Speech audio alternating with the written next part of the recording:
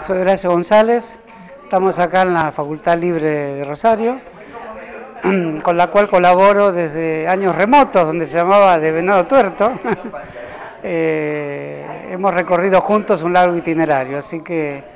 eh, para mí que a lo largo de este tiempo, que es el tiempo argentino con todas las dificultades conocidas, haya permanecido esta convocatoria que implica la Facultad Libre de Rosario eh, es una,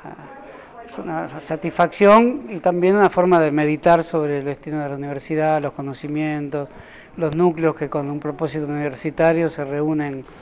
sin las exigencias eh, académicas de una universidad, pero que al mismo tiempo permiten que haya encuentros como este, que a mí, particularmente el de esta noche, me resultó hondamente significativo.